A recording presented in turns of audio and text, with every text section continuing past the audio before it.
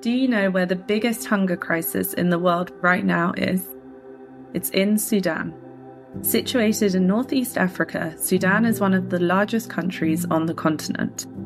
On the 15th of April 2023, a civil war broke out in Sudan following a power struggle between the Sudanese armed forces and the paramilitary Rapid Support Forces.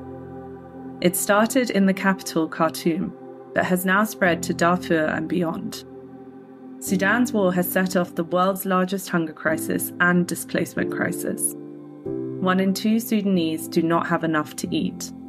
More than 8 million people have been displaced because of the war, meaning they have been forced to flee their homes. The majority have moved to different parts of Sudan, but around 2 million have fled to neighbouring countries like Chad, Egypt, South Sudan, Ethiopia, and the Central African Republic. The situation has made it difficult for humanitarian aid to reach everyone in need. Currently, the only open border crossing in the Darfur region is from Tine. The crossing at Adre into West Darfur remains closed by the Sudanese government.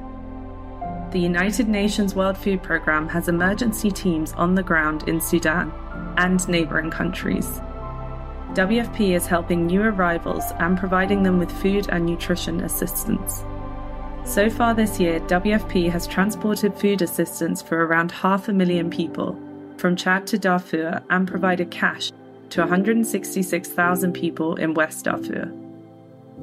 WFP calls for an immediate ceasefire.